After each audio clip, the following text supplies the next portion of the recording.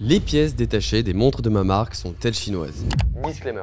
Je ne critique aucune marque, je suis un passionné d'horlogerie comme vous et je respecte le travail de toutes les marques présentes sur le marché aujourd'hui.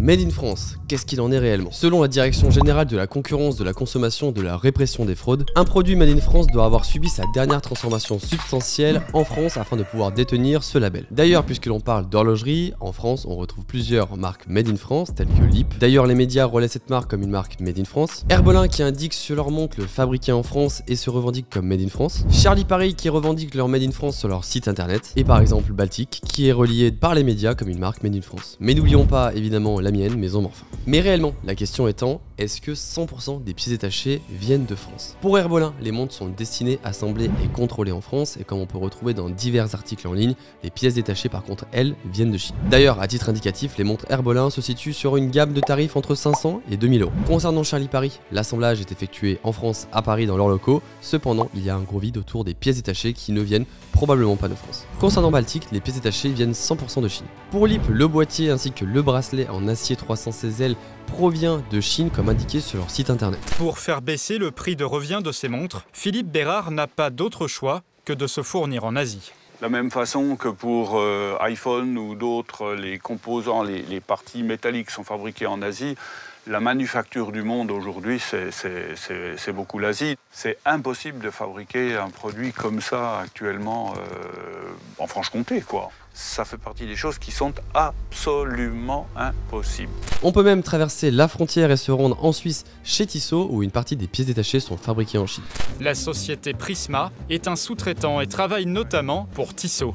Tous les composants ne sont pas fabriqués dans leurs usines, certaines pièces viennent d'autres pays. Mais ici, on reste très discret sur leur nombre et leur provenance.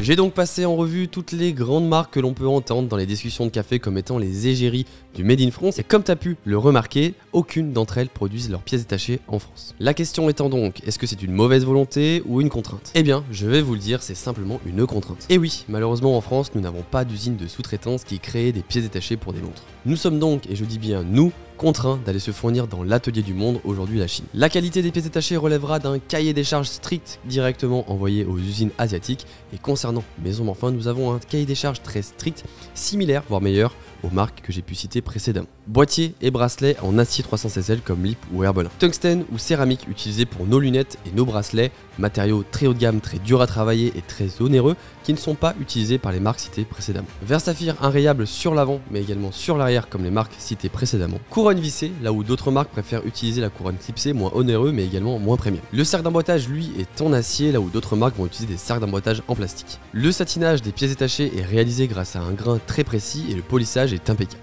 Et au niveau du mécanisme, là où d'autres marques utilisent des moteurs japonais, des mécanismes du coup de chez Miyota ou Seiko, nous, chez Maison Morphin, nous sommes allés directement en Suisse se fournir comme par exemple l'a fait Herbelin, par souci d'excellence puisque nous voulions un mécanisme haut de gamme. D'ailleurs, faisons la comparaison avec la Cap Camara squelette de chez Herbelin et la MM23-01 de chez Maison Morphin. Matériaux du bracelet et du boîtier. Matériaux de la lunette. Verre utilisé. Étanchéité. Mécanisme. Assemblage et contrôle. Lieu du dessin. L'édition limitée. Et enfin le prix. Pourquoi un si grand écart de prix? Car aujourd'hui, Maison Morphin est une marque jeune et nous devons redoubler d'efforts afin de prouver la qualité de nos montres et nous préférons ronger nos marges et vendre directement aux consommateurs sans passer par des intermédiaires qui viendront simplement prendre une marge à chaque étape. L'idée aujourd'hui c'est bien évidemment d'être transparent, je vais personnellement visiter toutes les usines d'assemblage, montrer tous les dessous de la scène, les ateliers également Dromois qui permettent de réaliser aujourd'hui le SAV de la marque Maison Morphin. Et on met également à disposition tous nos fichiers de design sur le site internet afin justement d'être transparent avec la clientèle. Je suis un passionné d'horlogerie, tout comme vous, et je n'ai absolument pas pour but d'arnaquer qui que ce soit. D'ailleurs, pour montrer ma bonne foi et par souci d'excellence, j'ai récemment démarché la seule entreprise qui fait encore des pièces détachées en France, qui s'appelle l'usine La Pratique, qui aujourd'hui usine des aiguilles, et on verra sûrement dans quelques mois apparaître des aiguilles made in France sur nos montres, puisqu'aujourd'hui c'est le dernier atelier qui fait des pièces détachées, et ça me tenait à cœur de soutenir justement le Made in France au maximum, même si pour le reste malheureusement aujourd'hui on est encore obligé d'aller se fournir en Chine. Parce qu'en effet, il est bon d'ailleurs de noter que pour moi en tout cas, l'artisanat relève du travail minutieux à la main avec un vrai savoir-faire, et aujourd'hui les talents français résident surtout dans l'assemblage minutieux à la main, le contrôle strict qualité et aujourd'hui l'usinage de boîtiers ou de pièces détachées, il faut le dire, c'est simplement un travail d'usine avec des machines et tout est automatisé. Mais les boîtiers, arrêtez de me faire croire que c'est un mec qui vient avec son burin taper dans une blague d'acier. Putain, les mecs, attendez. C'est un bouton, on appuie sur un bouton. Pour, faire un, pour, usiner un boîtier, c'est on appuie sur un bouton. Après, j'avoue que cela m'attriste un petit peu que certaines personnes me prennent comme cible à abattre, alors qu'il serait beaucoup plus simple de se réjouir qu'une nouvelle marque arrive sur le marché français. Une nouvelle marque d'ailleurs qui promouvoit les talents français avec des cahiers des charges similaires, voire meilleurs aux grandes marques et surtout une marque avec laquelle on peut interagir qui est à taille humaine.